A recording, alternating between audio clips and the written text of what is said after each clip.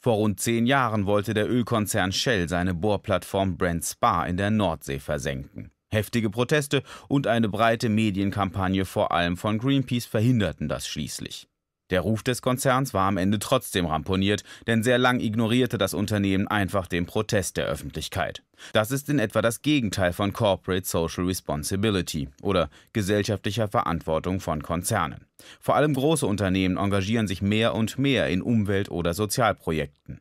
Sich gesellschaftlich zu engagieren, gibt es aber in der Wirtschaft schon länger. Die Tradition reicht weit in die Geschichte zurück, erklärt Robert Fischer von der Universität Frankfurt. Das ist vor allem eine Zeit, wo Unternehmen noch sehr personenbezogen waren, wo es die großen Unternehmer, Persönlichkeiten gaben, die oft dann aus ganz individuellen Beweggründen heraus äh, sich engagiert haben, sich vielleicht noch viel mehr als Mäzene verstanden haben, die ihre Verantwortung viel persönlicher dann wahrgenommen haben. Später entschieden sich Unternehmensleitungen dann vermehrt auch aus wirtschaftlichem Kalkül heraus dazu, etwas für die Gesellschaft zu tun.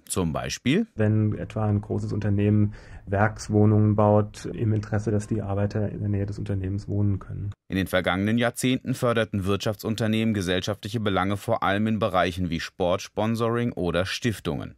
Heute wollen viele Unternehmen als Corporate Citizen, also als eine Art guter Bürger in der Öffentlichkeit auftreten. Dabei hat sich die Strategie des Auftretens gewandelt. Früher galt vielleicht eher der Grundsatz, Reden ist Silber und Schweigen ist Gold, also der Mäzen hält sich vornehm zurück.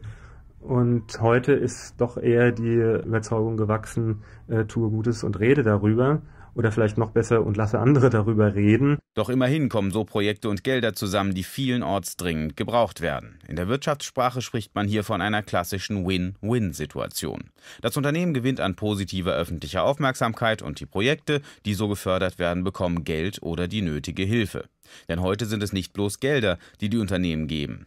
Sie fördern auch das freiwillige ehrenamtliche Engagement ihrer Mitarbeiter während der Arbeitszeit. Das nennt sich dann Corporate Volunteering. Das heißt, Mitarbeiter können während ihrer Arbeitszeit sich für soziale Belange, sportliche Belange, also für die Gesellschaft als solches engagieren. Sagt Norbert Krüger. Er ist Beauftragter für Corporate Social Responsibility bei Ford in Köln.